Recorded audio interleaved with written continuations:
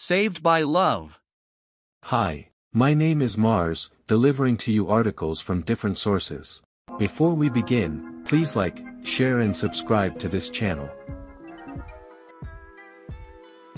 Every teacher has students that are harder to love than most, and Teddy Stoddard was one of those students for Jean Thompson. Teddy came to class dirty, was unresponsive, and turned in abominable work.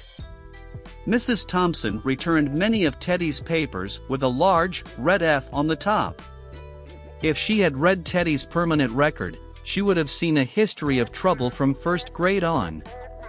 His home life was in turmoil. His mother became terminally ill, then died the next year. The school counselor noted his depression and recommended psychiatric help. It was all in the record, but Mrs. Thompson never read it. On the last day before the Christmas holidays, Mrs. Thompson received gifts from all of her students, including Teddy.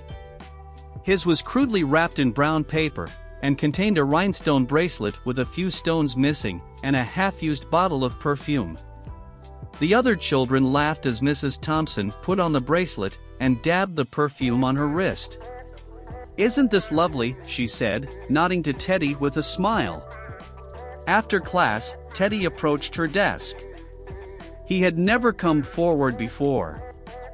Mrs. Thompson, he said, thank you for liking my presents. You smell like my mother used to smell, and her bracelet looks good on you, too.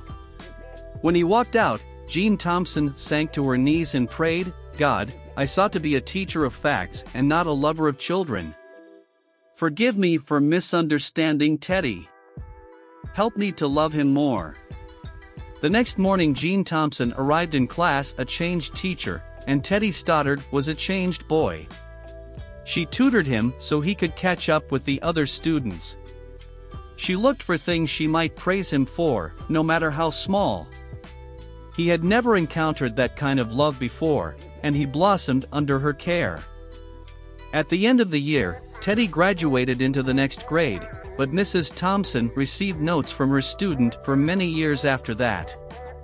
The last one read Dear Mrs. Thompson, you can now call me Theodore J. Stoddard, MD. Would you ever have believed it? By the way, I'm getting married July 26, and I would love for you to come. You can sit where my mother would have sat. You're all the family I have. My dad died this year. Hope to see you soon. Love, Teddy. Teddy was saved by love. And so are we. Memory verse John 3:16 For God so loved the world that he gave his only begotten son. From the word of promise